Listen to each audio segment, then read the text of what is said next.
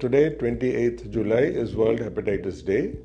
Uh, the reason why we observe this day is along with WHO and other uh, international bodies, people like us who are involved in treatment of viral hepatitis want to eradicate or reduce the burden of viral hepatitis by 2030. This is the goal that we have.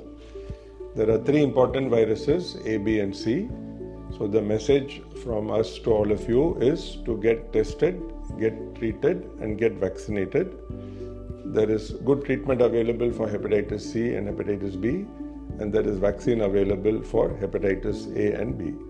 So, uh, I hope you will take this message and do what is needful.